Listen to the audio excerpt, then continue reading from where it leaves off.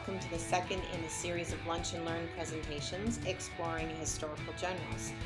Um, this was RAUSI's first in person gathering since COVID, and it was our first hybrid event with both a real audience and a Zoom audience. Uh, we did experience a few bumps along the way, and we've made some adjustments. And uh, accordingly, this is a post event introduction to Dr. Pat Brennan's talk, which was given on Friday, 13 May. Pat Brennan, now retired, was an associate professor in the history department of the University of Calgary since 1989. Having studied under Jack Granatstein, Canada's preeminent military historian, he took the leadership of David Bercuson to spearhead the Centre for Military and Strategic Studies at the University of Calgary. Dr. Brennan's research interests focus on the impact of the Great War on Canada, and in particular the transformation from civilian to soldier within the CEF's officer corps. Dr. Brennan has published widely in Canadian military history with research interest in Canada and the British Empire in the Great War. He is currently in the final stages of completing a history of the King's Own Calgary Regiment, covering the years from 1910 to 1960, and will now join Pat's presentation as he begins his first slide. Um, that's a picture of Arthur Currie taken just before the war, and in civilian attire. There's almost no pictures certainly during the early period of Arthur Currie until he becomes a, a serving officer in the Canadian Expeditionary Force. Um, pre-war life, he was a, a man of, of, no particular outstanding talents to his contemporaries. He was born and raised in Ontario. He was a school teacher, high school teacher in Strathroy, Ontario. And then, like so many young people in Ontario, married and otherwise, uh, he decided to move west where the action was in the immediate pre-war years. In his case, rather than come to Alberta or God's country, Saskatchewan, where I'm from. He went to British Columbia, settled in Victoria, where he also taught school and uh, was involved in, uh, I'll come back to this, very important point, was involved in certain business activities loosely described as real estate, okay, which was actually quite a common activity on the side for a great many uh, uh professional people in the immediate pre-war period in the West. He served in the militia which was uh, a very common occurrence for people of Anglo-Canadian background, certainly in the country. The militia was an incredibly important institution in Canadian society in the run-up to the First World War. It had been greatly revitalized in the first 10 years or so of the 20th century by successive liberal and conservative uh, ministers of militia and defense. Uh, this was a time of sort of romantic view of war, of the ideas of manliness and militarism and so on, that the finest qualities of a, a man's life were exhibited in military service and so on and so forth. So it attracted a great many, especially young business and professional men. Currie wasn't unusual in joining the militia, you know, in that sense. Okay, um, he was very good in the militia. The surviving records show his performance in various exercises and tests and so on. Uh, that he did quite well. He was seen as a comer. He was young enough that he hadn't been in the Boer War. Many of the more senior people in the militia, in fact, had been in the Boer War, including those who rose to quite high rank in, in the First World War, but Currie was an exception who had not served in the World War. The one thing he had going for him more than anything, though, as it turns out, coming out of his militia experience, was that uh, one of the officers in his unit was Garnet Hughes, who was the son of Sir Sam Hughes, Minister of Militia and Defense in the Borden government, elected in 1911, and the man who would dominate, absolutely dominate the creation of the Canadian Expeditionary Force and the training of reinforcements and so on for, say, right through 1916. We'll hear a lot about Hughes. He sex very often, initially positively, latterly very unpositively with uh, Currie's own career. But it meant he had the patronage when the war broke out of Sam Hughes, not because he was a Tory. That's usually how you got Sam Hughes' patronage, because Currie was known to be a liberal, a Laurier liberal, but because the attestation of Currie's merits by Garnet Hughes, Sam's son. Now, if we can go on to the second here. Uh, so, First Division formed expeditionary forces assembled by Hughes out of great chaos, but effectively, successfully rather, in the autumn of 1914 and dispatched. Britain wanted an expeditionary force from the Dominions. They wanted one from Australia as well. What they didn't really want was uh, formed units. They would have preferred they serve under British command and as part of the British Army and breed all that wonderful uh, uh, amity in the empire and not confuse matters with sort of proto nationalist units and so on, people who wanted to be listened to. So anyway, the first contingent was sent over. Hughes was a nationalist. Wasn't much else to redeem Hughes. He was known as by the Mad Mullah. Um, shortly after the war began, and most people thought he was doing a terrible job creating increased chaos out of chaos, if that's possible. But anyway, he, he, uh, was very much a nationalist, uh, such as they were at the time, very pro-British, but very much still a Canadian, and wanted a, a separate Canadian expeditionary force. So the first contingent that went over in October 1914, uh, followed by various others, of course, as we know, uh, became the first division, the first division to go into action, most famously at Second in 19 in April 1915, the famous gas attack. Anyway, in the training camp that Hughes assembled at uh, just near Valcartier near Quebec City, uh, there were only three brigade posts. It was considered obvious. Hughes offered to command the division himself, but when that was turned down, um, it was going to be a British officer to command the division. That would be the case through early 1916, uh, through actually early 1917. But uh, brigade commands were the two, or the, were the most preeminent positions a Canadian militia officer could aspire to, and Currie got one of them. Uh, I'm not saying he didn't deserve it, and I'm not saying he did in terms of such as they could judge these people, uh, but certainly the Hughes connection got him that position. Okay, uh, he had Hughes's uh, patronage, uh, and he would later lose it big time. But anyway, he gets to be commander of the first of the uh, first brigade in, in the first Canadian Division, fights at Ypres, and that's where he runs into his first problem. I'm going to talk about the nature of this problem in the second part of the talk, but suffice to say that uh, the British uh, would have cashiered Currie after Second Ypres for his failures of command because he was a Canadian and because Sam Hughes was the guardian angel of the Canadian Division, the Canadian Expeditionary Force in general. Currie survives, and thank God, even the British would have agreed, given what a superb divisional and particularly corps commander he turned out to be. Thank God he did survive. Okay. Um, Hughes, or rather Currie, then uh, uh, continues on as, as, commander. He's seen as a, a comer. Uh, and uh, when a second division is sent over to France from England in early 1915, uh, um, he or late in rather, late in 1915, uh, a corps is formed, and the British officer Edmund Alderson, who was commanding, retired British general, who was commanding the Canadian uh, First Division at Ypres, and thereafter he was made corps commander. Currie is promoted to the command of the First Division, which became, especially in their own eyes, the preeminent division in the Canadian Corps. It was certainly the longest continually serving division. So Currie's career is immediately identified by the British as one of promise. They're constantly, you know, stuck with these Dominion formed units that have to be mostly commanded by Dominion militia type people. Uh, they look for the ones who are the most promising, and Currie is immediately identified by the British as one of the most promising. Now, get on the next slide, please. That's Sam Hughes, and there's a crisis. Uh, he's he's actually a civilian.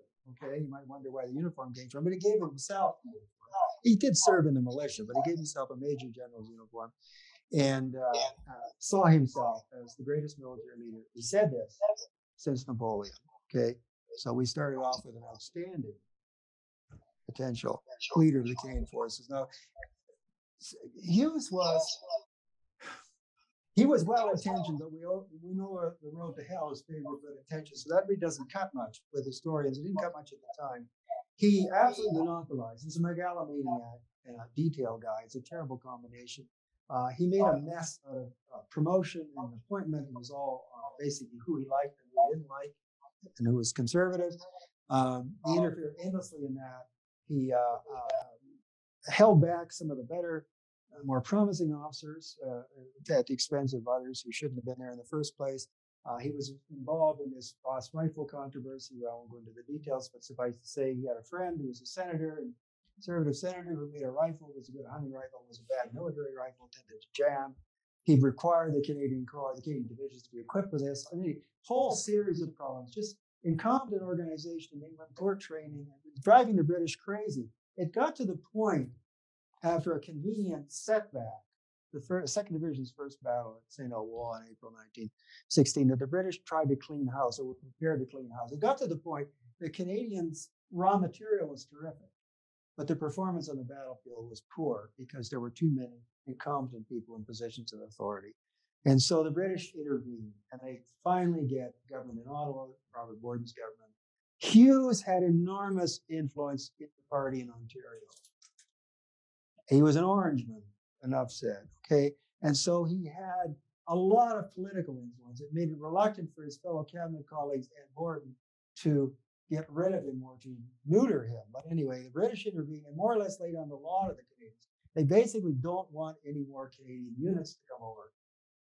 The consequence of that announcement in Canada would be devastating politically to the government. So unless Hughes's influence is removed and they get their way, they uh, appoint a new British general who had made a name for himself at Gallipoli. And it was hard to make a name for yourself. Okay, at least that kind of name at Gallipoli. Julian Byng, Jumbo Byng, six foot four guy. He came over to take over the Canadian Corps along with several British staff officers who served, senior staff officers who served with it right to the end of the war. And he demanded that he have absolute control of the now three division Canadian Corps uh, over promotions and appointments of all kinds, that it be a meritocracy. The Canadian government agreed. Hughes would not be removed from office as defense minister in effect until the end of 1916, but after the spring of 1916, Hughes isn't a factor anymore in ways that matter in terms of the fighting proficiency and the professionalization of the Canadian Corps. And uh, Currie is a major beneficiary of this because he had become on his merit, not only the most promising of the Canadian officers, but the leader of the faction who wanted to professionalize the army, and particularly on the issue of this infamous Ross rifle, wanted the rifle gone. Hughes considered the Ross rifle in support of saying a test of loyalty. Had Hughes not been gotten rid of by the British in the spring of 1916, Currie's career would have been over. As it was, it could blossom. Have the next picture, please. There's Julian Byng, and that's Robert Borden. And the reason I introduced Borden here is the second big crunch comes in late 1916 when uh, uh, Hughes is fired from the cabinet uh, and proceeds to criticize the government. Thereafter, right till the end of the war, and particularly goes after Currie all the time. But anyway, uh, the fact is he's gone. And something called the Overseas Military Forces of Canada is set up in Britain. It's a full cabinet post and with a powerful cabinet minister permanently resident in Britain. To keep an eye on Canadian matters, including things like training and so on, at the same time, and to give some measure of independence vis a vis the British High Command to the Canadian Corps Commander, even if for the time being he's another British officer. In other words, it's the beginning of sort of nationalist sense that the Canadian Army is too important for the Canadian government not to have a positive role in shaping it. Okay. At the same time, the only other Canadian general, commander of the Second Division, Richard Turner, who was a possible rival for the best Canadian commander in the spring or late 1916, is sent to London. He's asked to go to London to mastermind military operations for the Canadians there. And he stays there for the end of the war. He's a brilliant success. He's the George C. Marshall, for those of you who know that name, to Currie's Eisenhower. He's the staff officer and the administrator in England who manages to bring order out of chaos and training and so on. It's a brilliant performance. He had wanted to stay in Europe because he was first in line, probably, to command the Canadian Corps as its first Canadian commander when Byng eventually got promoted out of the Canadian Corps, having sort of fixed it up, which he did in many, many ways. And he sacrificed that in order to go to England. He was picked for that job because he was far better administrator than Currie, had been a very successful businessman in the pre-war years, and had the political talent necessary to make the job work. and so Currie is by this time the clear heir apparent to Byng when a Canadian finally gets to command the Canadian Corps, which was now the commitment of the Canadian government. So first Byng and then Currie, who is, of course, the only other commander of the Corps, he takes over right after Vimy. Byng is promoted for the success of Vimy. Uh, Currie uh, uh, has the support of his government in terms of standing up. This sounds very adversarial. It wasn't anywhere near so adversarial as it's portrayed, but in standing up for Canadian interests in the field against the British. Okay, as an important important asset Currie when he would become Corps Commander in 1917. Okay, a very important asset because he had no other protectors other than Sir Robert Borden. Next. Uh, so there's Currie standing beside Sir Douglas Haig. They actually got along quite well, at least Currie admired Haig, despite all the history books that are written about Haig being the principal donkey leading the Lions in World War One. Uh, but he was not a corps commander comme les autres, as the French would say. Rather like the Australian Corps, when it was given an Australian commander a year after we did, in other words, in the late spring of 1918, uh, th- this was not just a colonial corps of the BEF anymore. Because of Borden's attitude and because but Currie took and ran with that, it was now different. It was not independent, but he had to be consulted in a way that a corps commander in the BEF did not have to be consulted. And for the most part, he did well with that power. Now, I want to just talk about Currie's, uh, if can have the next, uh, next slide. This is a classic Currie picture. He's uh, conducting exercises shortly after he was made corps commander in July 1917. Uh, the commander, uh, the fellow on the on the on your left, is uh, the deputy commander, second in command, then commanding officer of the 38th Battalion from Ottawa. And the man on the right is more important, relatively speaking. That's uh, James McBrien, future leader of the North Ontario Royal Canadian Police in the 1930s when he hunted communists with great success. But anyway, he was commander of the 11th Brigade, the 4th Division, and a very, very good brigade. So that's classic Currie, hands-on, teaching, and so on. Okay. Currie's one the one quote from Curry, which is always always quoted, but always remembered now. Thorough preparation must lead to success. Direct, direct uh, neglect rather nothing. And this is classic Currie.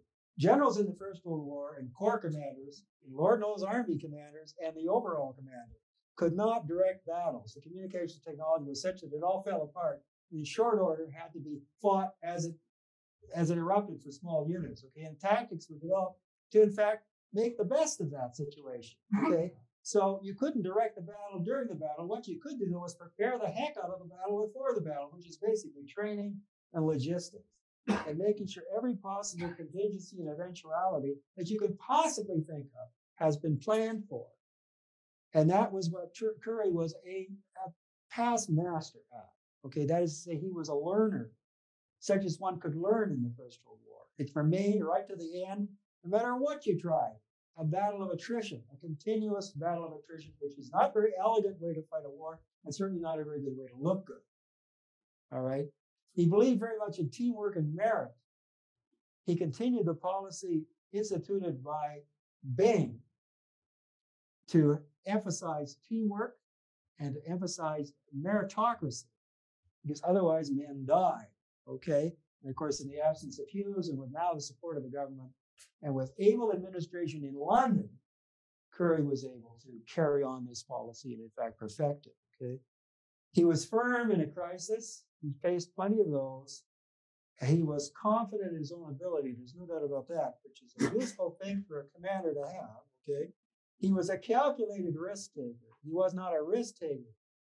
He was a calculated risk taker, and it was also a place for that. And he inspired loyalty among those close to him the people who got to work with Currie, senior staff officers, senior command, field commanders, and so on, they admired Currie greatly. I'll give some examples later that. Uh, he, he, was not an inspirational leader of his men. He, Byng remained the leader in the hearts of the Canadian Corps right to the end of the war. They called themselves Byng boys, you know, right to the end of the war. And there was no knock on Currie. He just he wasn't much of a public speaker, and when he wrote, statements to be read to the troops, they sounded a bit, how should we say, formal. Okay. All right, next picture, please. I want to call this the hidden Currie, which sounds very ominous, but it's not meant to be. Um, there's a lot of things about Currie, and, and, to give part of the game away, historians have tended to practice hero worship. Canadian historians are the ones who write about uh, practice hero worship occurring. There are reasons for that I'll get into later, but uh, it, it, it has harmed the man in the sense it's made him look artificial. Okay. Where are the flaws? Where are the ground blemishes? We all have. He was a great general and he was a man with all that that implies. So a few points I want to raise here. If nothing else, they weighed, some of them weighed heavily on him in terms of his nerves during 1918 when he had other things to worry about. His reputation. Second, he, what he had done is he had abandoned his command post, his brigade headquarters, to go look for reinforcements. That's basically what it amounted to. Now, that is not proper practice. Okay, no matter what you, no matter how bad things are, no matter how chaotic you are, you send somebody else. You don't abandon your command post.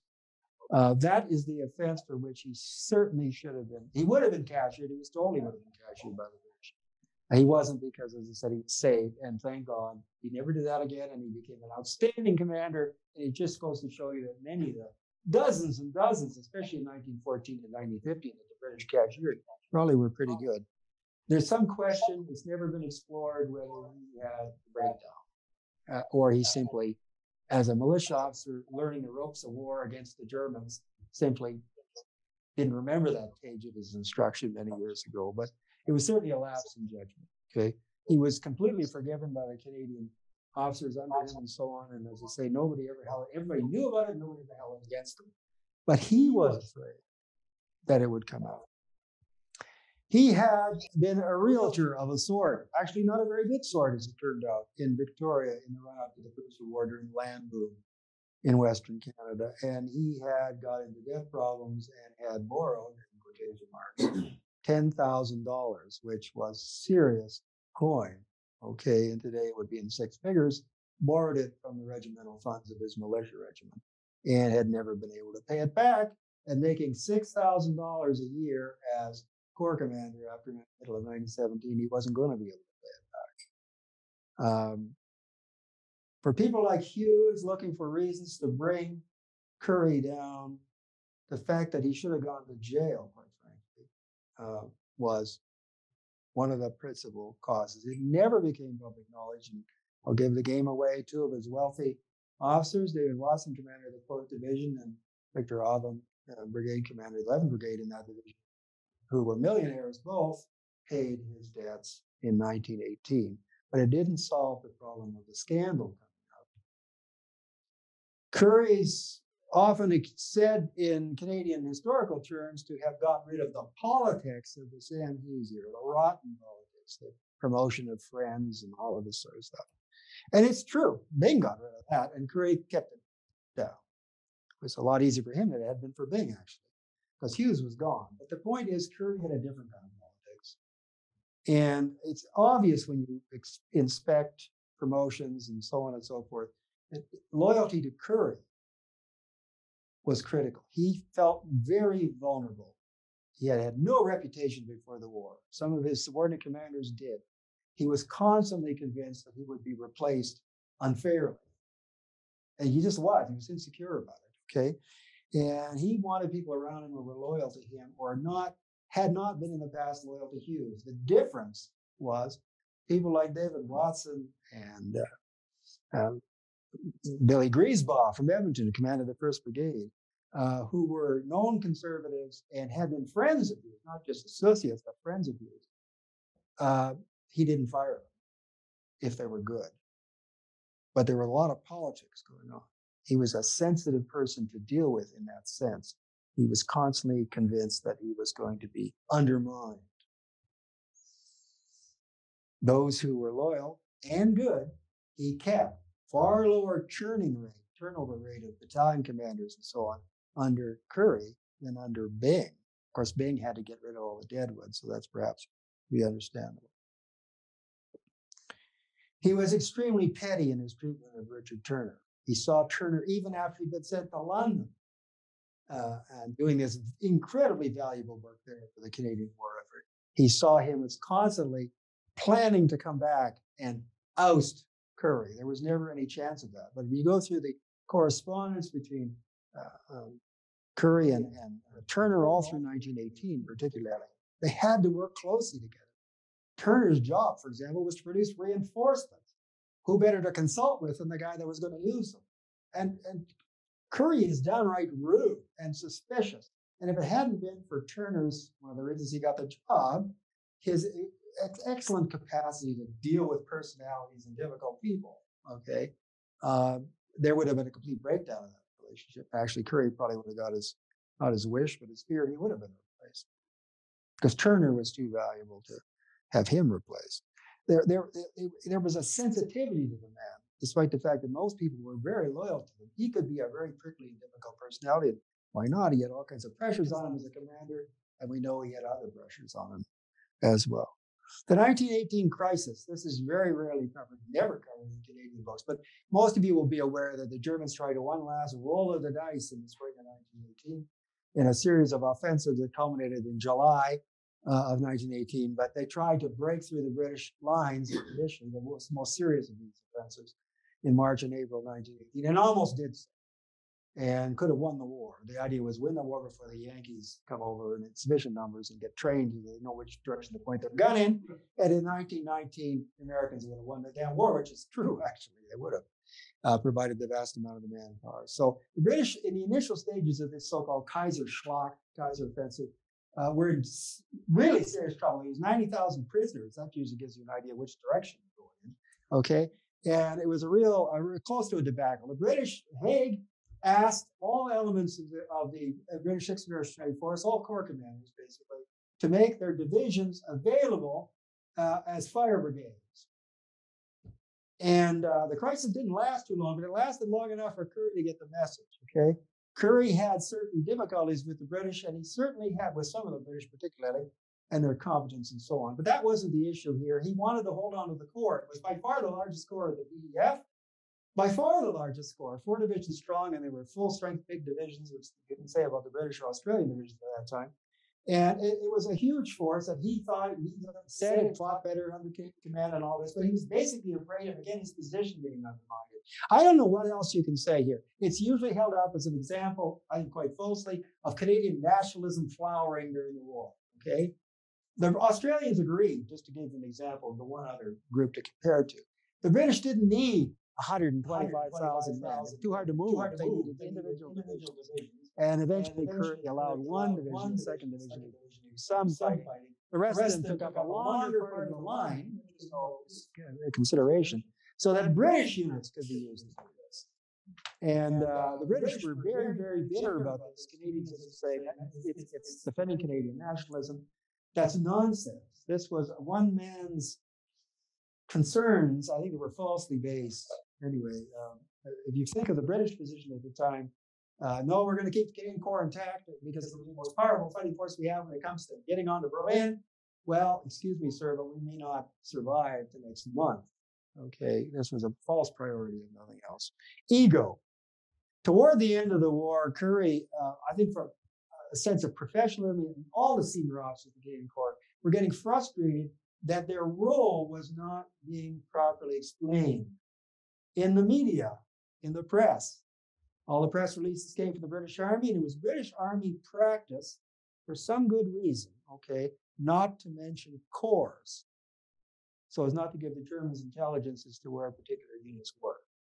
Uh, sounds fine in practice, not as good when you got a nascently independent corps, who for the first time is on the national stage, that is, as men are, and they would like some acknowledgement that the Canadians took Cambrai and not the British Army, etc. They were under the command for the last, most of the, the tail end of the, the last two of the three battles of the Hundred Days campaign, not Amiens, but uh, Drocourt-Quéant and then Cambrai and Valenciennes and the Pursuit de Mons. Under the command of Sir Henry Horne, First British Army. Okay, and it got to the point toward the end Currie would barely show up at ceremonies that the French were holding to mark the liberation of Valenciennes, for example. He went with one himself and his aide de camp because he was ordered to go the uh, uh, and monopolized the ceremony at Mons, where the war ended, which was enormously symbolic to the British, where the war had begun. And some of them lost sons, including Henry Horne in 1914 he in fact threatened, I mean, or virtually threatened to shoot any British who showed up to ceremony because the Canadians were going to get their due. As I say, this was ex- explicable, but speaks more of the bad feeling there was between some senior British commanders and Currie at the time, and Currie's own ego, for a better way of putting it. But it's quite understandable as a Canadian, we all feel damn it, all we deserve some credit.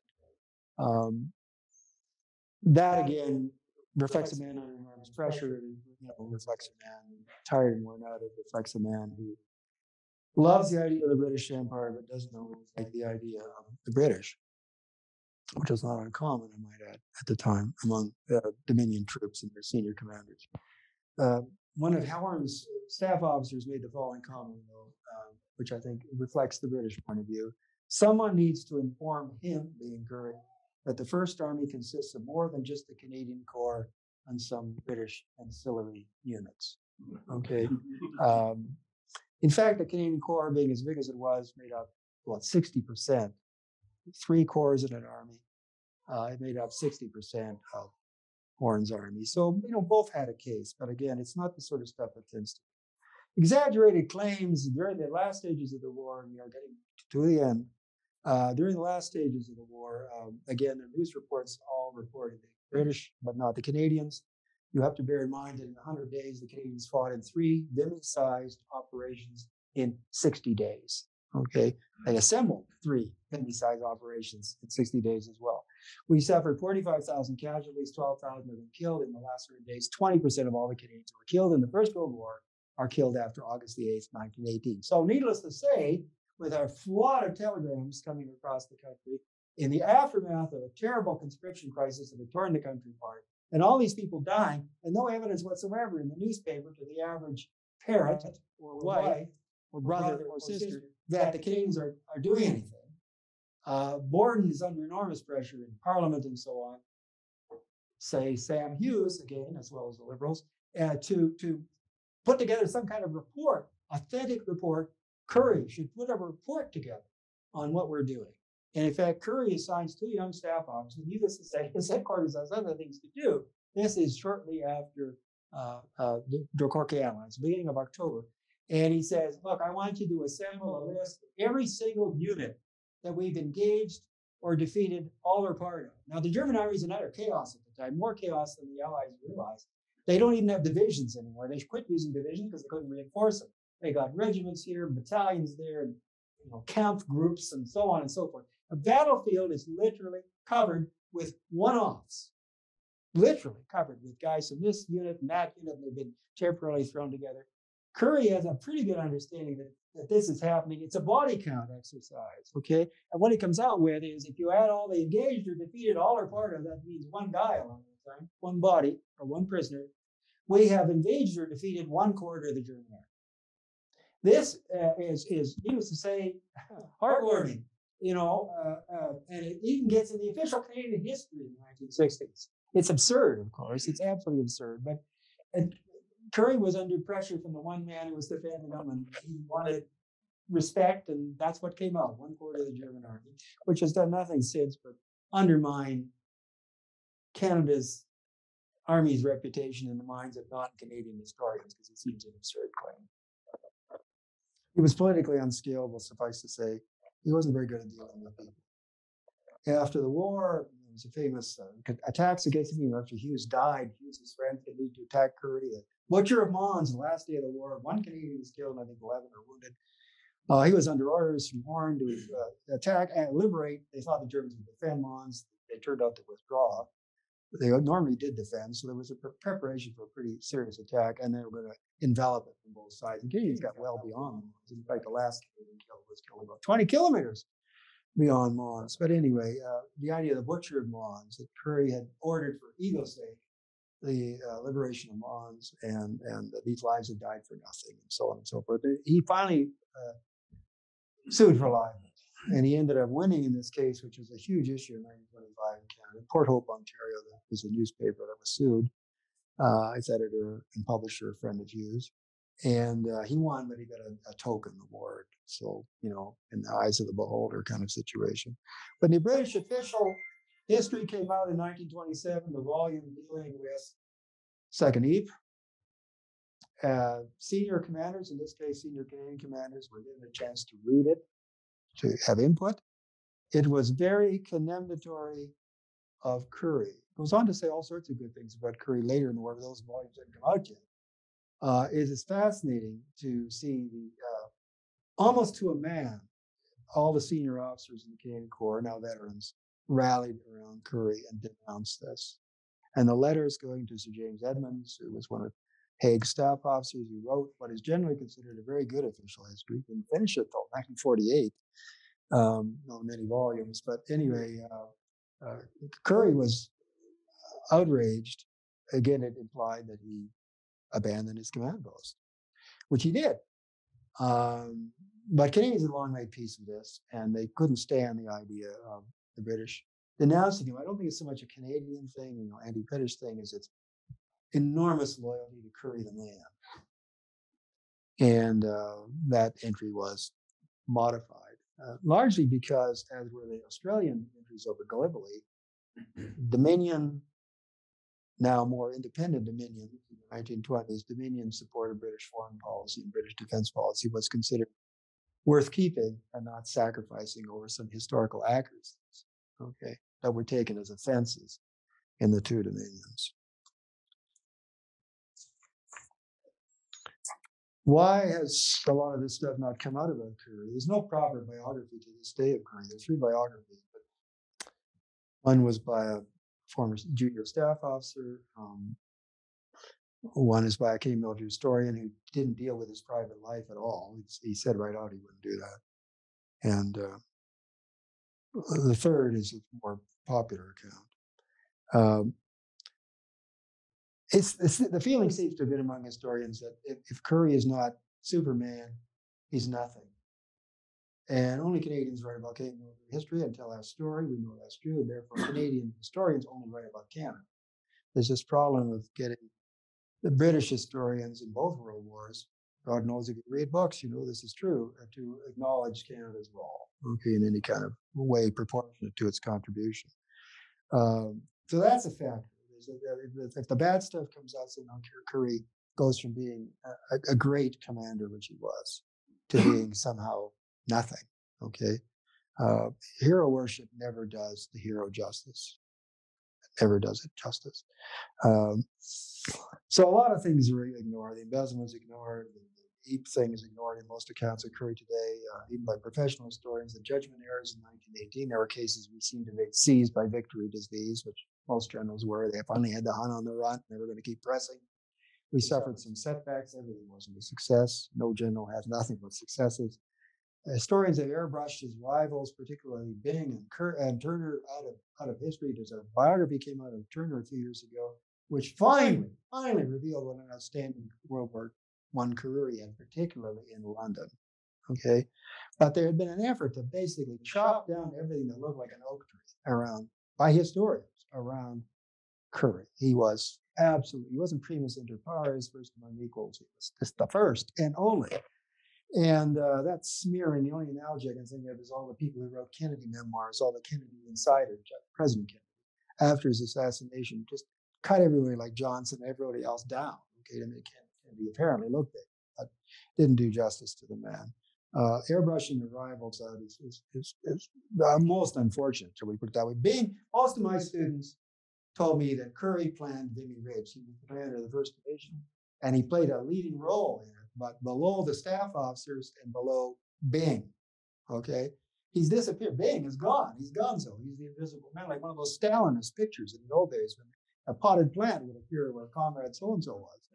You know, I mean, it's it's it's most unfair. Even uh, official Canadian government websites talk along the same lines. It's very sad uh, because Byng deserves enormous credit for saving the Canadians from themselves, basically. And they thought, and Currie thought that at the time. He always admired Byng as the greatest single mentor he ever had. Cheerleading, as I say, cheerleading doesn't do the job. That's what we've had with Currie. He doesn't need cheerleading for heaven's sakes. Okay, Currie was lucky. Lord knows he was lucky, and I could give you questions examples when he's lucky. But you got to be good to be lucky. That famous leader Vince Lombardi of the Green Bay Packers said that very thing. You know, and it's true. You got to be disappointed with being lucky. You're only lucky, well, that's a problem. But in many respects, he was an ordinary man. I mean, he wasn't an ordinary man, but a sort of ordinary man, grasping the historical moment. He was a bit like Churchill in that regard. You know what I mean? He, his talents would never have been noticed had the circumstances not around him. When the circumstances came, they flowered and he seized the opportunity. That's Currie, okay? Uh, even an ordinary man is still a man with his talents, but also his flaws. Ironically, hero worship never does full justice to the hero. Uh, it oversimplifies a complex man. I forgot my other two slides. If you just, that's it. That's it. That's the last one there. So, so beginning and the end, the Alpha and the Omega, at least in his war career, there's Currie in his militia uniform. Uh, nice uniforms. So they still had money left over after they bought those uniforms for him to make off with, pay his real estate debts. And uh, uh, Currie himself. Okay. And I think there's one more here. I want to show you the picture of the guys that bailed him out. That's the end. Is it? Oh, go back one story. Ah, yes, yes. That's Currie. Uh, this is 1918, and that's uh, Victor Odlum and David Watson, uh, the two millionaires who paid his debts. But they go to Canada. I think they deserve some credit for that. They never asked for it. They kept it secret to the day they died, but it came out other ways. Anyway, that's it. Um, never look at the clock because you might be embarrassed. So um, uh, that's the talk. Okay, we will have a question and answer period. I will ask Pat some questions. We would love questions from the audience. We'll, oh, I don't have my, there we go. There's my microphone on for the uh, Zoom audience. We will take questions uh, from the Zoom audience as well. If you could please write them down and they'll make their way to us. Uh, so, any questions from the audience to begin? Go ahead. I'm curious, sir, uh, you said that Currie is a great general, and I agree with you, by the way. I've, I've obviously read a lot less than you have, and I commend you for your presentation. What did Currie do that made him stand above other people of his rank level just before he became the division commander? Why why do you say he was that good of a, a leader? The uh, British Expeditionary Force at that time, with Canadian Corps in cooperation, it was post Somme, Battle of the Somme, 1968. That was the great eye opener for the British, at least for those who had eyes to open. Okay. Uh, and broadly speaking, there was a sense that, you know, the Somme was a Pyrrhic victory. There was too many more victories like that, like what King Pyrrhus said many years ago. Uh, I'll lose. You know, I mean, they couldn't fight like that. I mean, they, they won the Battle of the Somme by any by any uh, standard. I mean, they were victorious. They held the battlefield, but uh, losses were so heavy, and the tactics that we'd be using, the infantry tactics, particularly in the use of artillery, the lack of use of artillery effectively, was such that uh, Haig and many, many others, including Byng and um, Percy Radcliffe, who was his chief of staff, and Currie's a man who's completely forgotten and is very, very important in the history of the Canadian Corps, British officer. Uh, they all participated in this great uh, learning endeavor, what I call institutionalized learning and then universalized learning. And basically, what they did is they started during the Somme. They started interviewing surviving battalion commanders and particularly uh, company commanders as well, even platoon commanders, people who've been in the battle and come out of it, who were officers, and asked them what worked, what didn't work, etc. A series of set questions about weapons and all of that kind of thing. Uh, and then there was, a, a, you know, like one of these awful uh, hotel reviews you get. You know, there's always a place where you can write more. Okay. And these all survived. It was done. The Australians did it, the Canadians did it, the New Zealand division did it, the British did it. It was a British authorized endeavor. And through the winter of 1916, 1917, that came out with two. This, and universalized learning was it was all put into teaching. There was a standard syllabus incorporating all this stuff, and it was updated for the rest of the war. But a big push comes out of this all. So they're going to fight. They're going to use infantry tactics a lot different uh, small unit tactics, but that's all that can work, possibly work. That's how the battle breaks down anyway. So you might as well train them to fight that way.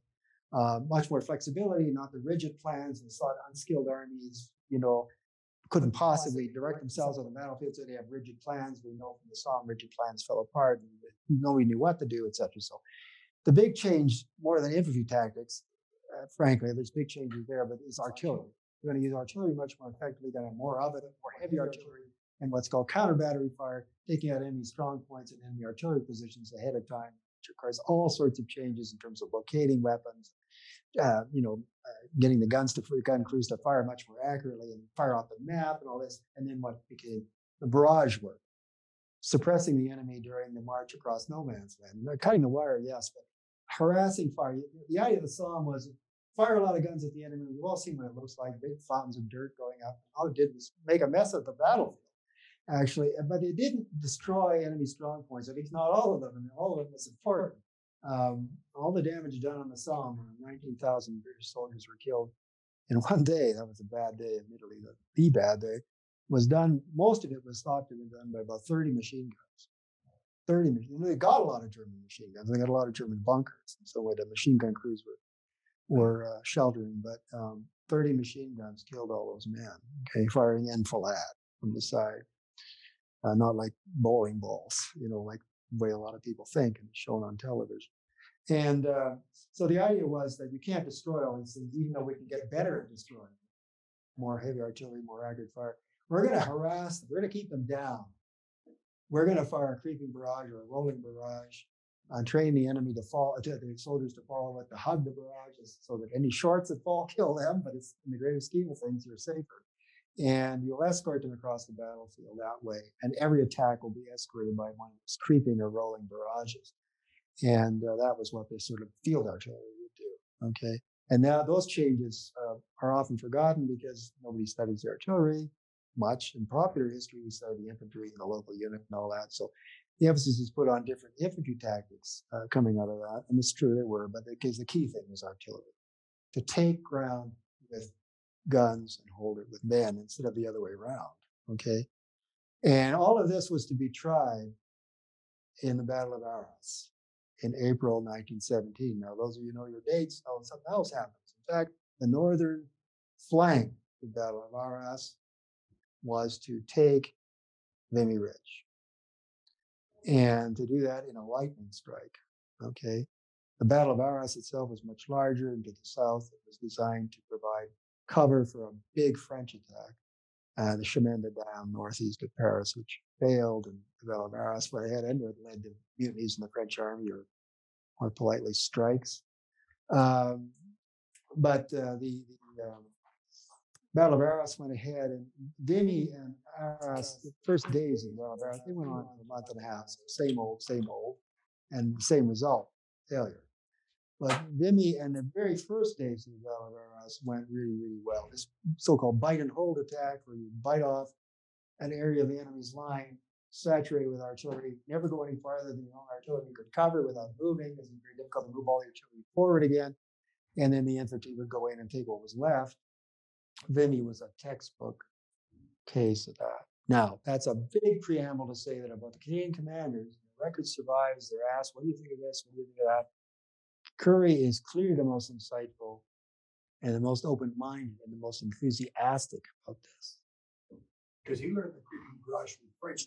Well, he observed the French doing it. The French are about a year ahead all the time. Uh, you know, they and they had the casualty list to prove they learned it. Um, but anyway, yeah, yeah. Curry Currie was clearly of of the three of the four divisional commanders. One was a permanent force guy, which is not saying much. He was adequate but not great. First all, um, Currie was obviously an outstanding prospect, if you use the sports term. Um, rough edges, but an outstanding pro- prospect, great attitude, you know, and so on, and learning and really enthusiastic about trying something different, okay, which was incredibly risky, don't forget, because it might not have worked because it rained that day. And then you, then you wouldn't know, you know, what to do, you know, kind of like the center. It was very important to work the first time and work as well as it did. Uh, Watson was again a kind of an average, you know, commander, although he was kind of keen on it too. And they were still, the uh, third division was still commanded by Louis Lipsett, who'd been seconded to the Canadian militia from the British Army in Winnipeg before the war, so enlisted in Winnipeg but he was a British officer, and uh, he was actually the most opposed to change. Say that what you will, but anyway, that was he just showed qualities of which that was the best. Always finding the time to monitor training. Mm. Always finding the time to talk to his um, subordinates, like Byng had taught him. Always asking, you know, what do you do if that guy dies? You know, is this kind of stuff. Preparation. He was he, he seemed to see the merit of logistical preparation and other preparation more than any of the others. And they all agreed, I might add as well. His, his peers supported his appointment as corps commander when it came in June 1917. Nothing else. I want to do that. Just have one more question. Sure. Hughes, Garnet Hughes, mm-hmm. worked for, for Currie. One of the reasons Sam Hughes turned against Currie was because Currie refused to promote his son Garnet. Is that, is that true? It's true. I was talking to another gentleman before about Garnet Hughes, and we're talking about, uh, you know, how you can have a bad, wrong name. Like if Garnet Hughes' name, Hughes, son, you know, was got him in, opened every door for a while, and then after his father died, he closed every door, as did uh, Sam Hughes had a brother who was commanding the 10th Brigade and got fired by Watson as soon as he could get rid of him. Um, Garnet Hughes actually was a pretty capable staff officer. You know, he he probably would have done as well. He he wasn't his father, I guess. His, his personality wise, he certainly wasn't his father. Um, he um, unfortunately in history, uh, any merits that he had, I think he had some, uh, were lost in the glare. Okay, and uh, he eventually commanded the fifth division in England, which was never allowed to go to France because we couldn't reinforce four without conscription, so we couldn't reinforce five. Eventually broken up in 1918 as reinforcements, and he spent while away the rest of the war basically there, uh, bitter and feeling he hadn't got his chance. Uh, brigade staff officer like he was often got to be a divisional staff officer, then got to be a divisional commander, or he's a brigade commander. You know, the staff officer often, a great many of them got to be. It was considered useful training for a more senior commander. So he should have been in slot, and I think he would have been okay. But he was he was dead on delivery, okay, because of his father's reputation. And when his father fell out, it was a way of kicking Sam. I, I really think it was, and I understand that people took it out on Art. Garnet because he was there. You could, you could hit him. How's your dad doing, Garnet? You know, like that kind of stuff. So. Go ahead. What was um, Currie's initial training in the militia? What corps was he? He was infantry. He was okay, and that he learned how to use it. He did because, of course, there's field artillery attached, at least at the level of the division, and it's allocated to brigades. So battalions would be used to having some uh, knowledge of field artillery, such as you know we had any at the time, and so on. But he, um, in fact, um, he understood the importance of artillery. He was not an artillery expert, would not have claimed to be. He picks people and encourages them who are very good at artillery. Uh, commander of artillery under Byng and then under Currie was a man named um, uh, Morrison, who was a former editor of an Ottawa newspaper.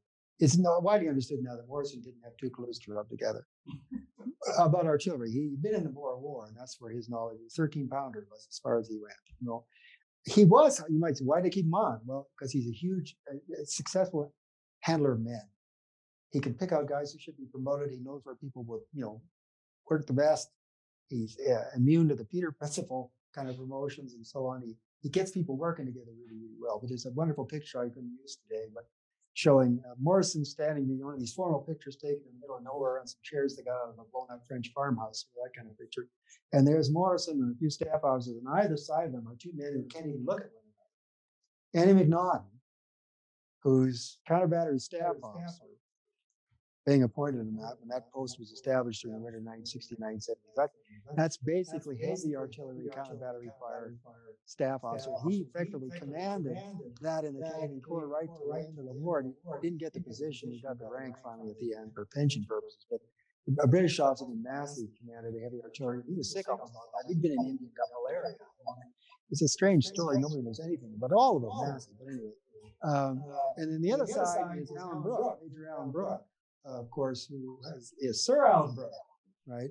And one of the British staff officers who spent time with the Canadians in the First World War, like John Dill and uh, Ironside and so on, who went on to bigger things in the British Army, he wasn't really happy with the Canadian Corps. He, he couldn't stand McNaughton, and McNaughton couldn't stand him. He was in charge, of kind of um, staff officer Royal Artillery, SORA, which meant field artillery. He was in charge of the barrage, of the creeping barrages.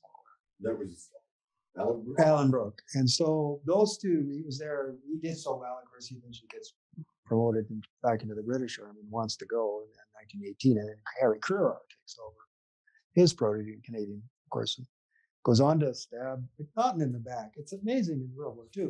But anyway, it's amazing all this stuff. But yeah, he had very expert staff officers and he kept them there. He knew they understood artillery. And nobody would get in their way. One of the things I used to ask my students to talk about how gas doctrine and prevention of gas poisoning and so on became a huge issue in the Canadian Corps, and they were very, very, very good at it. Okay? And the guy in charge of it was a captain. And I used to ask students, well, what do you draw from that? Like, how? Why would a captain, you know, why wasn't he a major general or something? Like, why would anybody listen? Why would it, the Canadian would the subordinates listen to when this little pipsqueak showed up? And so I'd say, you got to wear your small box respirator and blah, blah, blah. Well, of course, the answer was because Currie had appointed him. It didn't matter what damn rank he was. You know, they could see that armband, that brassard, and many of us from Corps headquarters.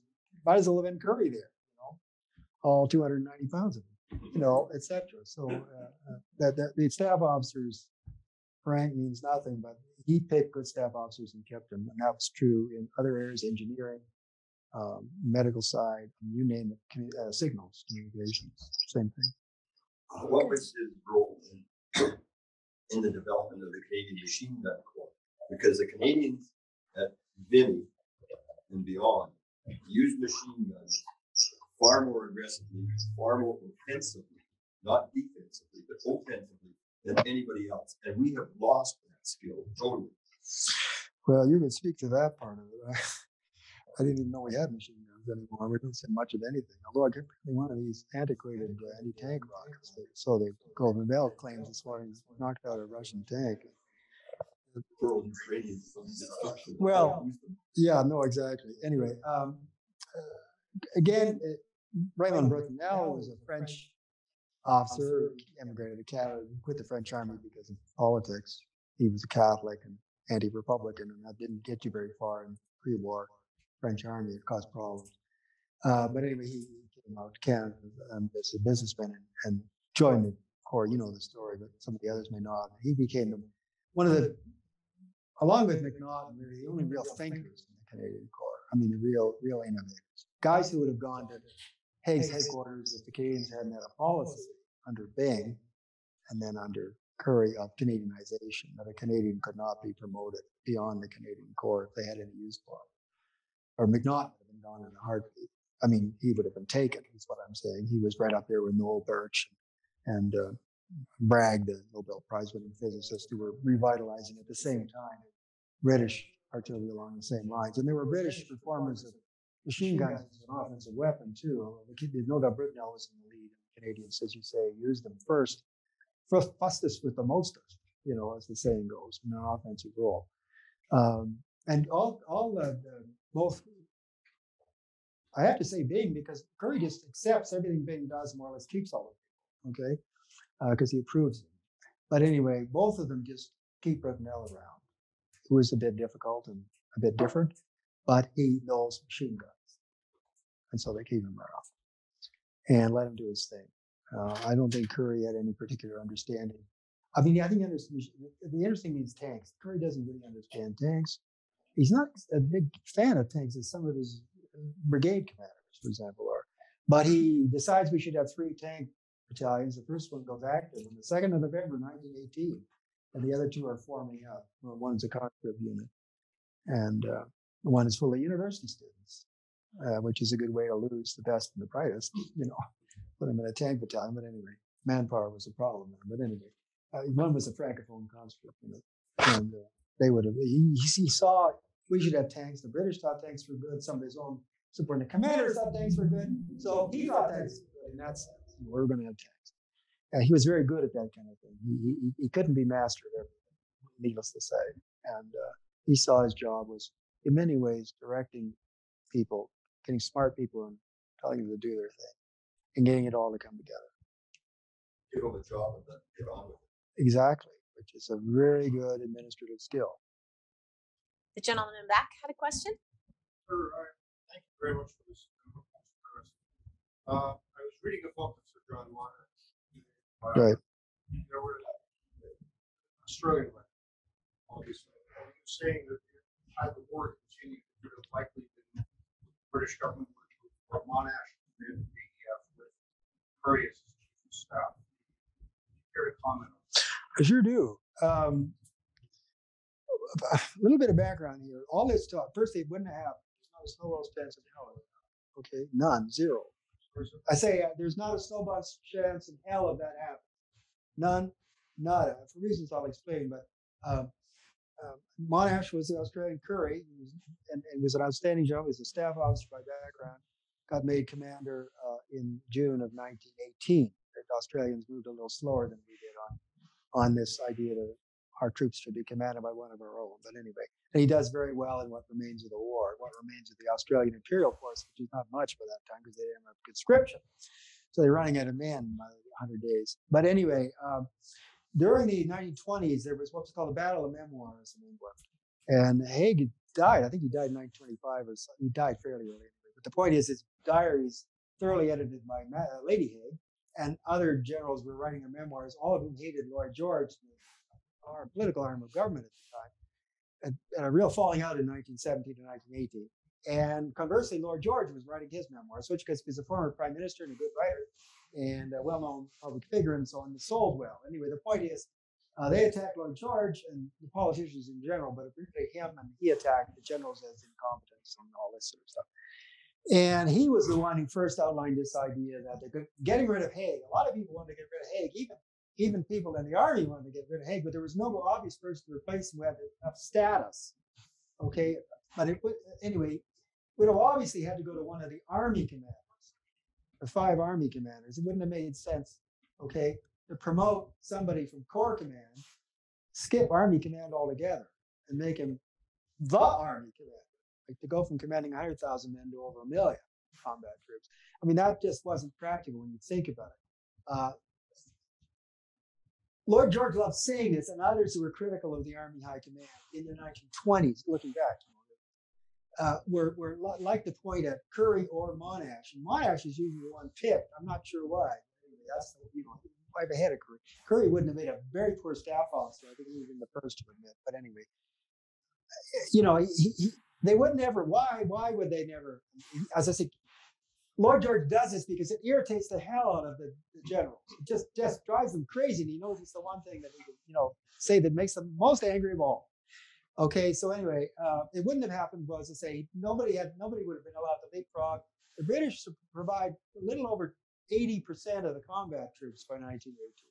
The Dominion contribution is really substantial, and a lot of British historians forget that just how much of it was because all our troops were combat troops. None of them were line of supply or anything like that.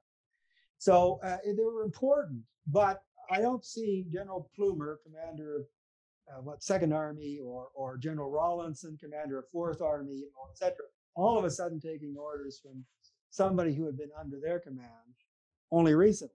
I mean, I, I just don't think that that would have been bad for morale. You know, and there was the practicalities here are they would never have leapfrogged either of the Dominion. Any, I don't forget their Dominion for. They wouldn't have leapfrogged a Wunderkind uh, corps commander over at the army commanders. It just wouldn't have been done. Okay. The second problem is Dominion officers. I don't care how optimistic you are about empire solidarity. A Dominion officer is never going to command. A Dominion amateur, I don't care how accomplished, is never going to command British professionals. It's just not going to be okay. Uh, so I think there would have been great opposition there. Uh, Monash, it, the irony of Monash is Jewish, so there's no way in God's green earth. It's amazing he got to be commander of the Australians, like by the, the Australians' prejudice against him, but which there was plenty of, I might add. But anyway, not so much in the army, but civilian life, political life. Um, Currie didn't know which was his asparagus fork. It was always Currie's problem. Currie wasn't even civilized. I mean, he was lower middle class when you think of his background, and he had, had trouble fitting in with the financial elite of the Canadian militia and so on. Okay, now they admired him and all of that's true, but I mean, he he just didn't fit properly, and he none of the boxes were ticked except outstanding ability and seeming infinite promise. And I agree with you, both of them fit that category, but they wouldn't have happened, as I say, it just wouldn't have happened. I don't know about what King George said. I, I will say one thing about shock troops. Lloyd George called us the shock troops of the emperor, and my students endlessly because it's a appealing term. Uh, the trouble is, shock troops, Stoßtruppen, uh, German phrase, apply to a specific kind of infantry, weak units, and so on. And uh, it's, it's wrong to get, it's probably not a good idea to use that term as a general term for good attacking troops because the Canadians were good attacking troops. So were a lot of British and so were the Australians and the New Zealand division and some of the American units turned out to be pretty good when they had a chance at the end of the war. Um, you know, I- it's it's misleading. Uh, we were, in fact, following an identical practice as the British units were. Uh, the whole idea is the interchangeable parts, after all, right? That's the whole. We don't want to lead units, and uh, like the Germans eventually devolved into, and so on. And, and uh, so, in fact, we were never. He may have used the term. It was probably current by the time in the papers and so on. He might have thought, you know, just used it, but unfortunately, it gets confused with March 1918 shock troops, nearly won the war and, and ended up being a very wasteful way of attacking and so on because they're hard to replace and all of this kind of stuff. But so that's why uh, he may have used it, but it didn't. He didn't mean it in the, in that way. Okay, and the uh, avoiding the Canadians. I I looked searched for a long time on the front to figure out where the Germans might have attacked. and Why they you know they attacked the hinge of the two British armies effectively to break the, the nearby hinge of the French and British armies and hope to open a gap and, and so on. And they more or less crushed one of the British Army's Fifth Army. But um, and Byng's almost got crushed, but managed to pull back, thus sacrificing the other army, etc., and opening a big gap for the French. The French filled after some huffing and puffing and so on and so forth. But there doesn't seem to be any evidence, no, that they did that. They avoided the Canadians because of where they wanted to get to and had they attacked the Canadians, um, it's a real question. Uh, because one of the tragedies of the war, none of the British forces put much emphasis on defense. And in the Canadian Corps records, they develop a defensive doctrine, a, a elastic defense is what only after the Germans attack elsewhere. I mean, that's how slack even the Canadians were. It just wasn't British practice to, they'd attacked nonstop for what, three years. And basically, and, and you know, they just got into a, false sense of security the Germans would never attack. And so uh, uh, the Canadians might well have been overrun, um, maybe not quite as quickly and so on. But uh, the other problem would have been if they'd been enveloped. It would have been a real tragedy to have the Canadian Corps captured, you know, cut off from supplies and have to surrender. But they were quite a ways to the north, as you probably know, where to where they were uh, around Lens, Vimy area, and the, Fran- uh, the Germans attacked down there. Uh, uh, well, east of Amiens, basically. You know. So no, there's no evidence of that. The Germans knew who the Canadians were, though. I mean, they refer to the Canadians as, Canadians. They, they see them as a colonial corps, and um, yeah, that's that's a good fighting corps. And if they know where they are, chances are that's where an attack's going to be. Which is why such enormous effort was made at Amiens in August 1918, the first of the great Hundred Days offensives, uh, to move them secretly uh, successfully, as it turned out, and the Australians were already there, but had to move a bit because the Germans by that time associated the Australian Corps and the Canadian Corps with attacking. The other reason they associated the Canadian Corps with attacking is because Currie had refused to allow the Canadian Corps to participate in the battles in the spring to stop the German attack. Okay, as I explained to you. And as a result, they were the most formidable part of the BEF as yet untouched, at full strength and so on. So the Germans knew wherever the Canadians were going to be, they were going to attack us. Virtually all the British army had been through the meat grinder and the Australians in the Kaiserschlacht. And many had lost, well, divisions had disappeared in the case of the British because that's where you got 90,000 prisoners, you know. And uh, so it was, it was a real uh, tough situation. So I think it was a combination of them associating the Canadians with attacking and uh, and them them fresh. It was their turn. It was our turn. Because my students used to always say after I painted with great pride, you know, the Hundred Days campaign and so on. Well, the British will fight to the last Canadian kind of thing, you know. Well, in fact, and a lot of people thought that at the time. You know, parents, uh, that wasn't the case. You know, it's just it was our turn. Got Alex back there. Yes, yes. Thank you very much. sir. Uh, the Canadian military currently has a tendency for extremely large staffs. Not a lot of soldiers. Um, I, and I wonder philosophically how Cur- Currie felt about the size of the staffs. Was he a lean and mean, or did he like Arthur staff he he was um, um, basically following British established practice. That is, there was an order of bat, you know, order of battle for division headquarters and so on, for lack of a better way of putting it. And they were allowed a certain number of GSO ones, GSO twos, GSO threes, clerks, uh, you know, that kind of thing. Okay, so uh, he uh, Byng was a great believer in staff, and he had a brilliant staff officer, Percy Radcliffe, chief of staff of the Canadian Corps from spring of 1916 to the end of the war. As the logistics chief, uh, George Farmar was chief of logistics right from that. They, the three of them came together when Hughes was got rid of, Byng, Radcliffe, Farmar. And uh, anyway, uh, so they believed in staff, so I'm sure he added a few. Okay, but the staffs were restricted. Bottom line, they were restricted by um, the nominal size assigned to them by the British.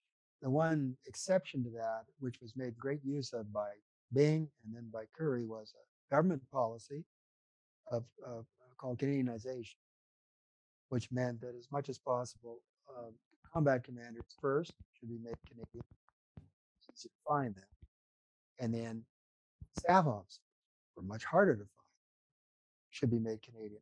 And the way it was done was by ignoring uh, the long course in peacetime to train staff officers at Camberley College and institute a what was called uh, um, learning the learner position.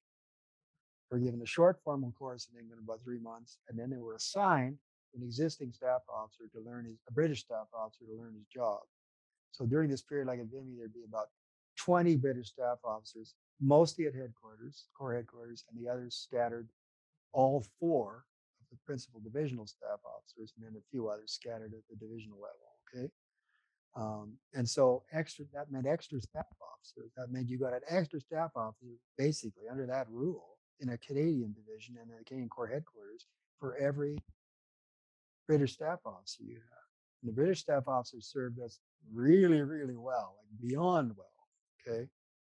But um, they were being, they were being replaced and uh, and it meant that these learner positions were there. So there was in fact considerably extra staff officer capacity at Canadian Corps headquarters than there would have been at a comparable British Corps headquarters during that period, and that continues right up.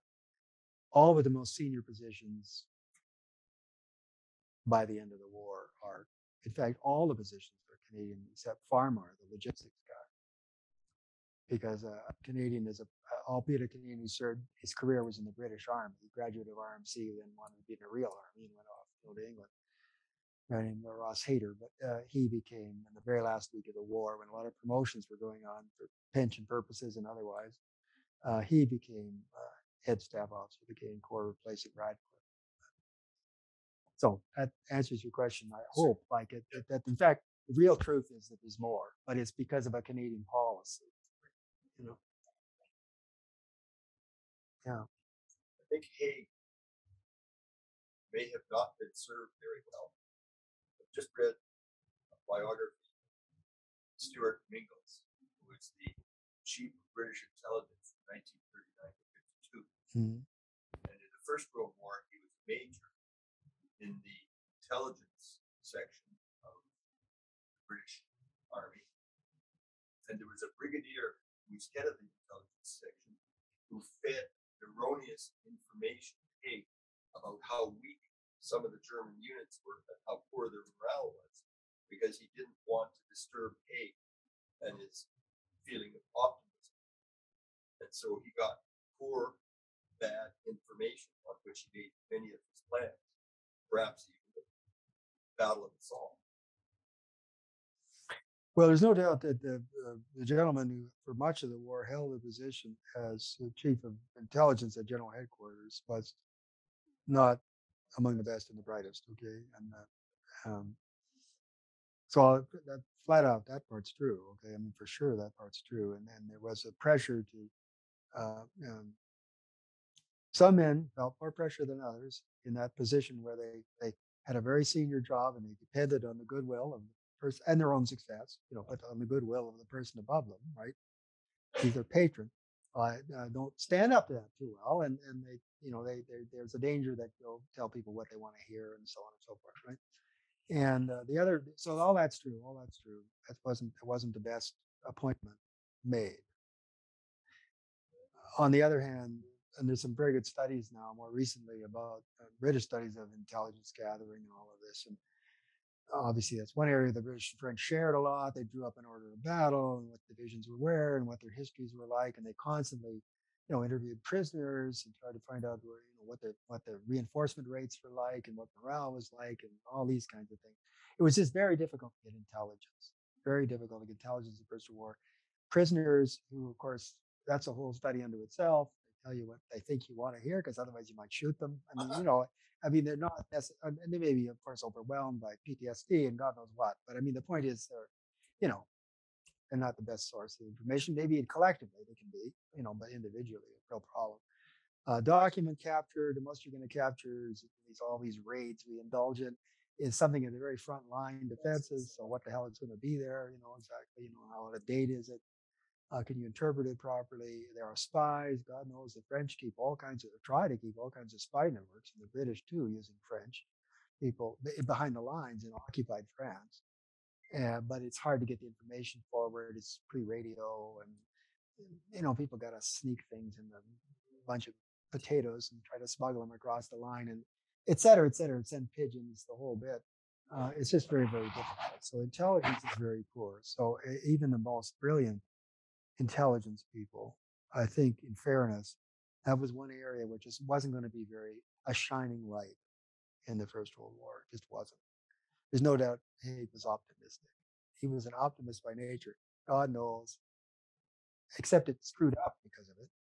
It was necessary because, like, if you got if you were a pessimist, like you know, no, you're gonna, you know, exactly. It becomes a self-fulfilling prophecy. So it's amazing how Haig held himself together. I think. I'm no great fan of Haig's, but he's better than the worst people think, and not as good as his supporters, who are very few in number. Think. But uh, yeah, no, the intelligence was poor, and uh, like is always the case, they read into it what they want. You know, that's the whole problem with intelligence. You get brilliant intelligence. Stalin's spy, Victor Sorge in Japan, got all the plans and everything basically for Operation Barbarossa, and Stalin didn't believe it. You know, that's the, a problem. So they didn't they didn't get the plans. You know what I mean? But a lot of this stuff was misinterpreted, and uh, you see this right to the end of the war. Uh, they have this overwhelming feeling that, that the German offensives in the spring and early summer of 1918 convinced Foch, the overall commander, Pétain, commander of the French Field Army, Haig, commander of the British Empire Field Army, and everybody else in between, that the Germans were just awesome.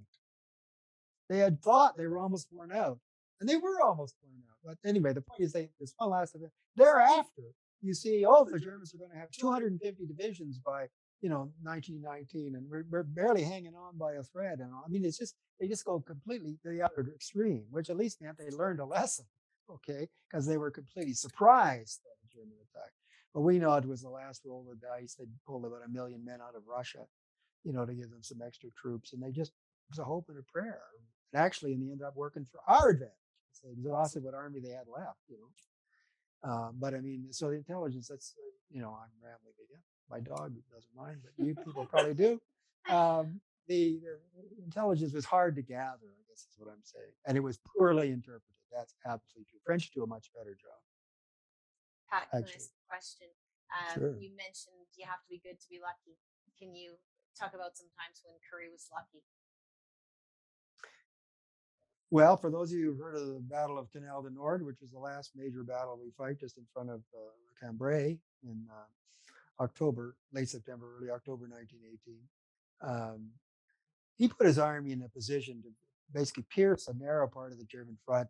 This canal had been built but not finished, and parts of it were flooded, and parts of it were dry, and he was going to attack across the dry part, and uh, and then fan out.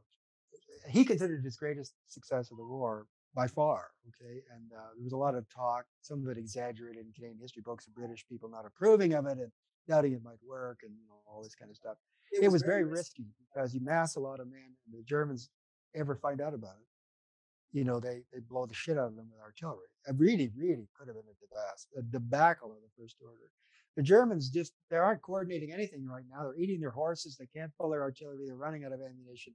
And the long and the short of it is, even though they have a sense that the buildup is occurring there, they, they have nothing to really hit at it with. And there's rivalries between adjacent sectors and all of this kind of nonsense. You'd think they'd have gotten over by now, but anyway, so he gets away with it. Uh, I mean, generally, Currie looks good at the end of the war. There are a series of generals who we now hold up as the ones who learned and the ones who were actually good. Who, they all have one thing in common. They all do well in the final offensives that win the war. Okay. Uh, and uh, they're fighting a German army which is shot its bolt.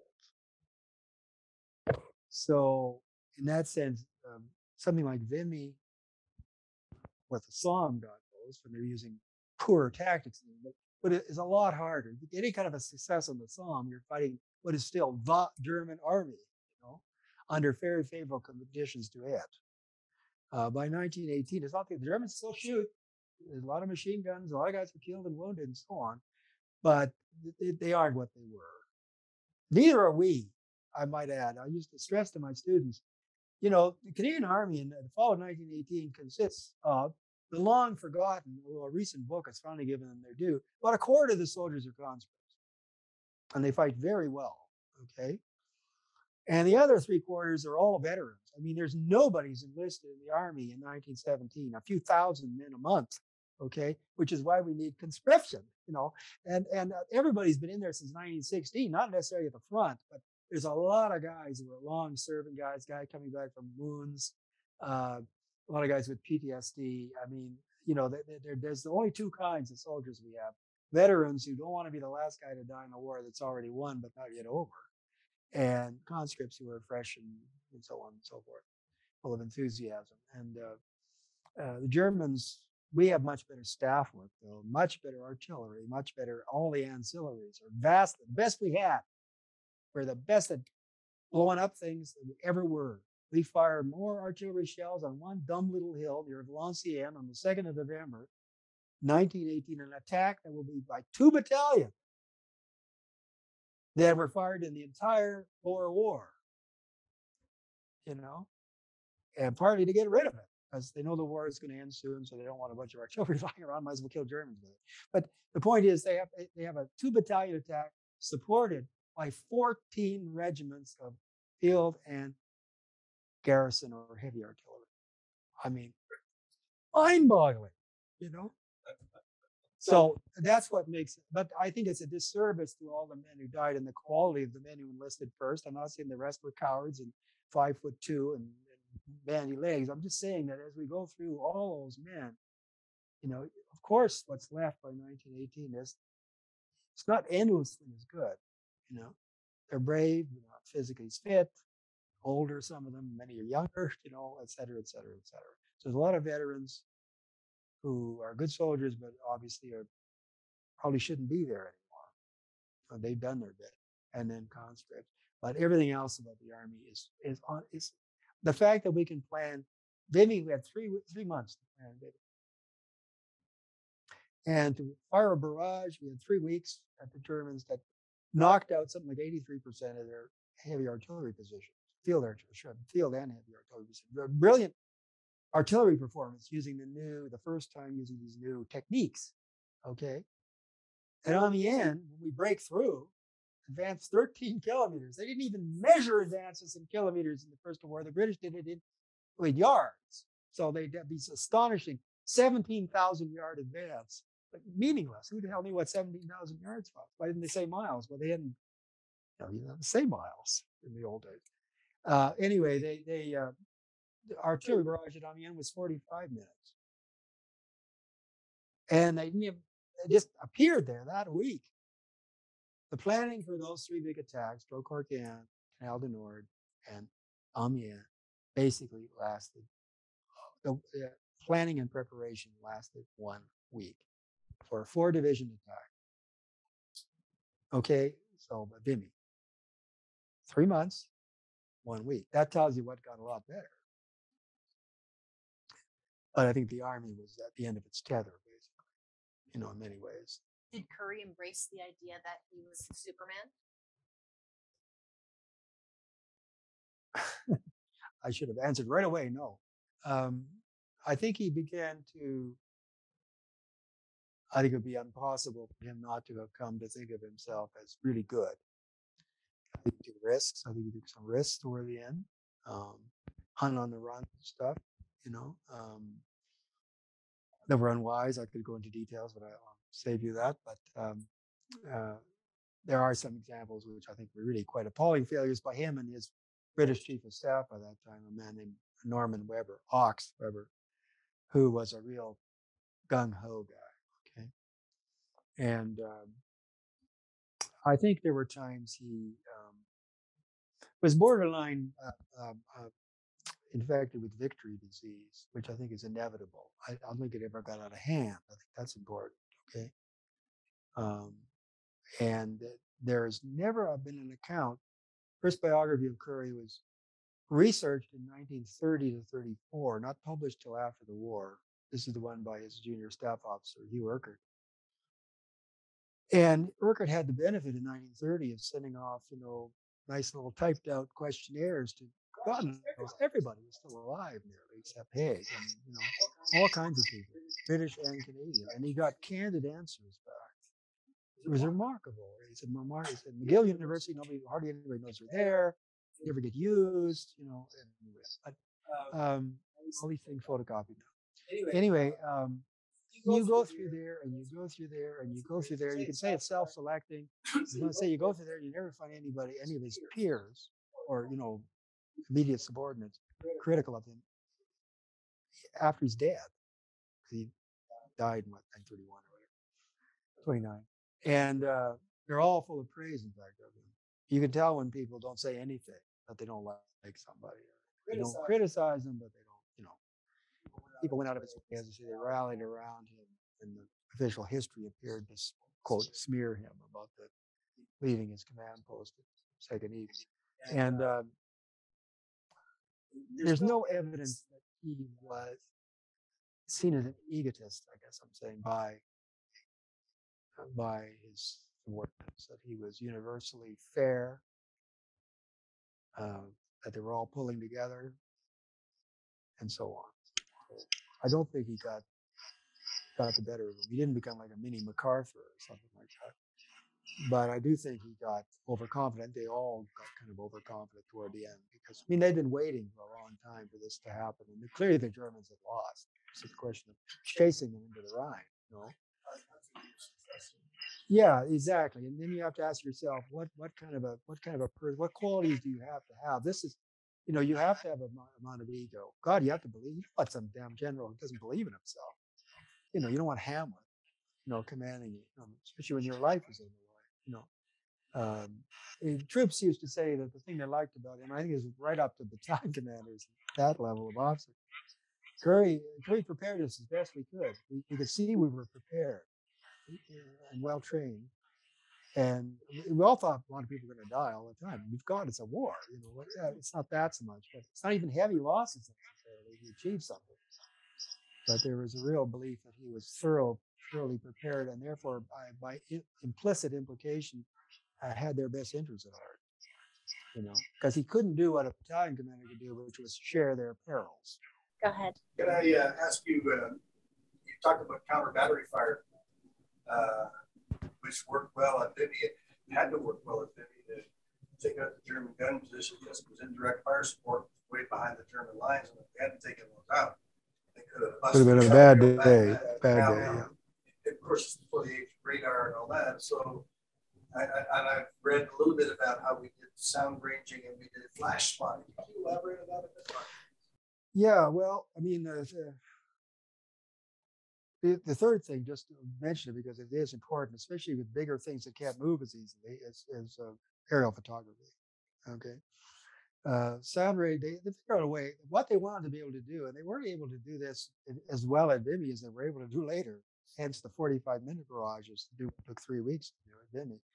But um, is they wanted to be able to fire off the map. That was the expression going. Okay, so what it means is that you could be given the coordinates of the target and hit it the first time not have to range a few times. and spot, you know, where the shells fell. So typically with an airplane. And uh, so that required uh, a couple of innovations. First, you had to locate, accurately locate things. That's where flash spotting and sound ranging come in. German guns would always randomly shoot to range, as our guns did. In fact, if you stopped doing that, that was not good, you know, because it meant you're up to no good. So anyway, we we kept that up. But the Germans would randomly, on the, on the assumption that a few random shots wouldn't really give their location away, not to the point where it would do any harm. And so what you do is you set up microphones. Basically, it's triangulation. You set up microphones a suitable distance apart on the front line, and you would determine the angle of the sound coming to those particular positions, and then by you know Pythagorean and all this stuff, you know geometry, you could figure out the exact location, survey a location in effect. So sound ranging we use that in flash spotting. If they fired in the daytime, particularly, you'd see a bit of a flash or some smoke.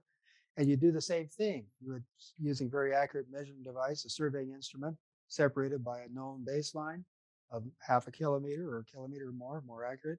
You would take an accurate bearing on that, and then that would be recorded and plotted on a map. So that's what sound ranging and flash spotting are for. They were for using geometric surveying triangulation to locate the exact position of something doesn't solve your problem. It solves the problem of where the damn gun is that you want to hit. Doesn't solve hitting it.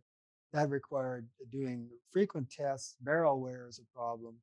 Um, uh, primer charge. In other words, it doesn't shoot the gun out quite the muzzle velocity, and therefore as far as it was supposed to go, because somebody was distracted from their work, you know, et cetera, et cetera. But barrel wear was a real problem because you can't be constantly replacing the barrels unless they're really worn out, because that means another gun is not made, and there's a there's a manufacturing problem. Okay so anyway, what they would do is they would uh, measure, uh, fire the gun fun with a blank, basically with a through a couple of bed sheets that were electrified. I'm simplifying here, and they could measure the muzzle velocity very accurately, very accurately, the exit muzzle velocity of the gun uh, with the barrel, firing a, a blank cartridge of the appropriate size for the caliber, so how much gas was leaking out through the barrel, basically. Okay, and they would adjust ranging accordingly they would now know that when that gun is set to fire, uh, uh, direction doesn't matter, but elevation and it could fall 4.8 kilometers away.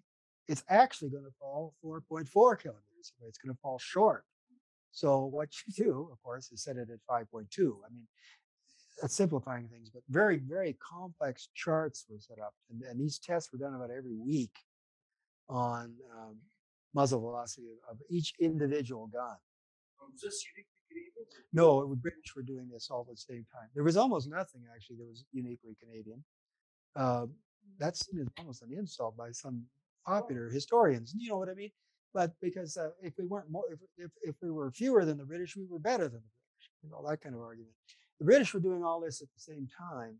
Um, it's the one area in which we had somebody, McNaughton, who was in the forefront of it. He was right up there with the I could name some names, but people at Haig's headquarters who, who had been brought to Haig's headquarters because they were doing this kind of thing at the lower level, typically the corps level, and had been noticed and we were brought to central headquarters so they could be universalized.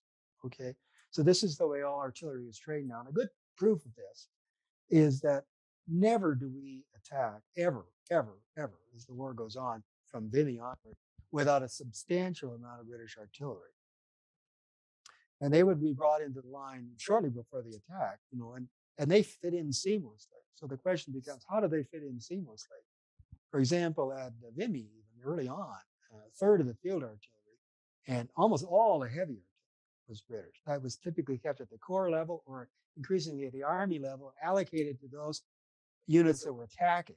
And so they would maximize the use of what you had rather than have it attached uh, uh, Canadians were actually told, and the Australians, don't bother making much heavy artillery. We made three um, artillery bombardment groups, as they're called, but um, mostly the British would do that. And we worry about infantry and machine gun battalions and all this kind of stuff. So there was always a lot of British artillery, and that our artillery clearly had to move seamlessly from unit to unit, from British unit to British unit, and to the Dominion units. And it did. And that's, I think, the best proof you can have that all the techniques that were being developed it's not that the Canadians weren't innovative, but as soon as we innovated, we told their best. I mean, that was the whole point is institutionalized learning and these after action reports and all this stuff, and then universalizing it in in tactical doctrine that would be taught both to the old guys and certainly to all the reinforcements. So they would fit in, they would hit the ground running, so to speak, you know. Why do you think historians have been so reluctant to talk about Currie's flaws? I think because, I mean, early on, I think it was being gentleman, but I think later on, more recently, in the professional stories today, it's is this idea that somehow if, if, if I sound paranoid myself here, but that there are other historians out there, uh, British historians, that's ready to spot Currie's flaws or something because we build him up so much that, that somehow if Currie, if, if I mean, if Currie was a crook, I mean, uh, you know, that's he would have gone to jail for what he did, you know, and it's a good thing he didn't. And we've all made mistakes. I have no, I won't tell you what mine were, but I'm just saying that I did things that I'm ashamed of and all of that, you know. Um, I think most of us, I won't ask for a show of hands, but you know, um, anyway, I mean, you know, they, if, but what he did was bad to understand the circumstances. I think is interesting. He was a married man with kids. He was stable at the time. Things weren't working out for him. Um, I mean, you know, he did what he did, and then he couldn't pay it back. And uh, you know, the fact that other people who knew about it forgave him and, and helped him out, you know, because he was such a good general. I mean, his, his peers, you know, um, he, I mean, he, he, he has a diary in which he, he, he puts a, a prude. I think most people were prudes, of that men, you know, were, you know, uh, Puritans, sort of the way they were brought up, didn't know all that much about sex except to do it. But I mean, anyway, um, he used to write in his notebook. He's, he, he told these little dirty limericks by people. You know, it, I mean, he, and he'd write them down. One in particular, which is is not, not dirty at all. Like you know, uh, so many out of date uh, words in it that you have probably have to translate it to figure out what it's about. But the point is that he was interested in stuff like that, and he he um, I use a lot of things. You know, yeah, yeah, yeah. No, well, now he'd be cashiered for that. But hmm. um, anyway, uh, it, it, some people should be cashiered for that, but not Currie, not for a limerick. Um, but anyway, there was there was uh, he doesn't seem to have had a drinking problem, anything like that. His marriage lasted; it seemed to be good. Um, you know, what can you say? He was overweight. You know, there, but for the grace of God, go I. You know, um, he used to play first base for the Corps headquarters baseball team. And there was a case one time they'd play always. Uh, he'd take enough guys with him, minions and so on. They could play local units when they toured because it was good for morale to see that Currie, you know, get struck out, that kind of thing, you know. And baseball was very popular in the Corps. Uh, some battalions built professional teams and so on. I was so obsessed with it. But anyway, there was a, the French liaison officer at Corps headquarters weighed more than Currie did and he was a big man too, but you know, so well over six feet. And he ran into Currie at first base time. It caused a collision, and there was this great concern about whether Currie had hurt himself. My God, the commanders, you know, and it, he got up, you know, both okay, both out of breath, this kind of stuff. Uh, he just seemed to be a normal guy, and after the war, he fit relatively seamlessly into the upper middle class. He became chancellor of McGill's University and so on, and the rubbed shoulders and with the great and the near great of the Montreal Anglo business community and all that kind of thing. seemed to be accepted by them. His reputation is established. So I don't know why there's this concern about saying any flaw at all, any kind of military flaw, any kind of personal flaw, but it's clearly there. Uh, he's we only have one other Canadian general that's ever been written about. and that's Turner, a very good PhD dissertation, which has been published, uh, outlining for the first time widely his enormous role and his great skills, you know. And uh, nobody else has been written about. That's that's another side of this. They don't want to talk anything negative about Currie, and they don't want to write about anybody else. I mean, we, we you know, it's just you know. It speaks a little to our insecurity, maybe, with our national identity. Well, it's but yeah, but particularly bad with Currie. I don't know. I, know I, I don't. I don't know. I don't know the answer to that. But there's nothing awful. I mean, he's I think, as I say, rather like Churchill, most of us read about Churchill and we find his idiosyncrasies. And we keep remembering we will fight on the landing grounds. We will fight it, you know, we keep remembering him seeing Hitler for what he was and so on and so forth. He's not the indispensable man, but my God, you know, we've forgiven his little problems. Okay. Isn't it sort of Canadian curse that we really never talk about ourselves?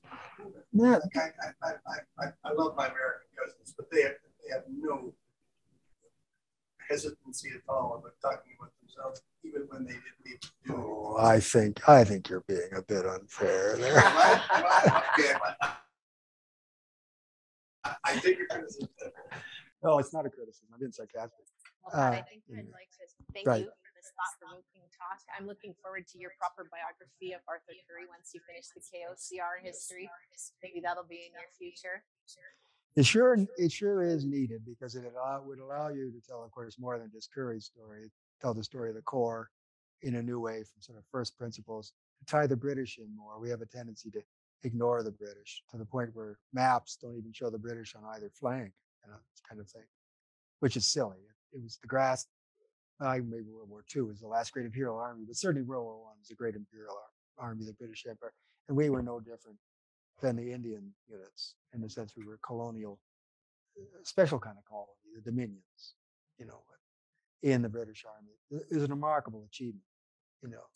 Our achievement within that was remarkable, but the achievement of the BEF as a as this great colonial enterprise was also quite remarkable. Well, thank you. We'll look forward to that book too. Well, my dog will read it first. Thank you all very much. I think we've all enjoyed this fascinating discussion. And uh, before we go, I'd like to thank you for attending in person, thank our Zoom audience, and I'd also like to thank Angela and Toki, our communications team, for putting a lot of work into making this happen, as well as Anna Kokot, who has been juggling uh, taking care of her brand new baby, uh, as well as putting on this this lecture. So thank you for all your support. Thank you to, to Pat. We Thank really you. enjoyed having you here today. And um, please tune in on June the 10th is our next lunch and learn with uh, Dr. Mike Bechthold.